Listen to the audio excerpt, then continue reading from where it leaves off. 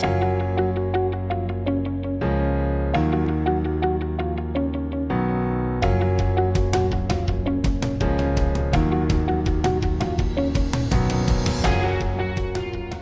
morning, JFK. It's Mrs. Wood with your JFK virtual morning announcement. Today is Thursday, March 26th. It's the fourth day of our distance learning, and I just want to say I truly miss you all. I miss the hustle and bustle of the school. It's very quiet in my home, and I really would like to get back to school to see all of your faces and to get back to the learning.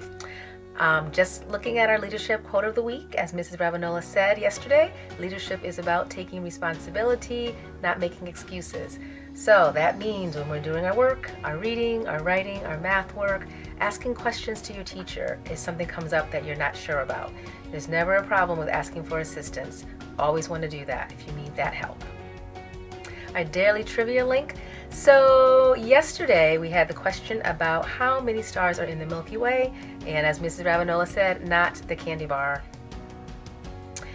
There are 150 to 250 billion stars in the Milky Way.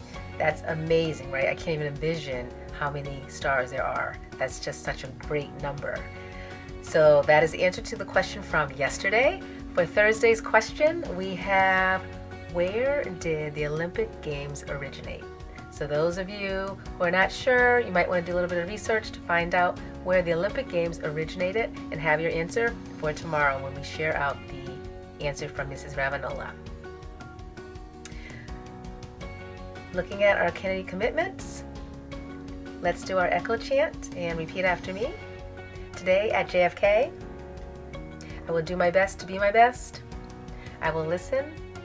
I will follow directions. I will be honest. I will respect the rights of others. I will remember my choices affect me and those around me. Today matters, and my future is built one day at a time.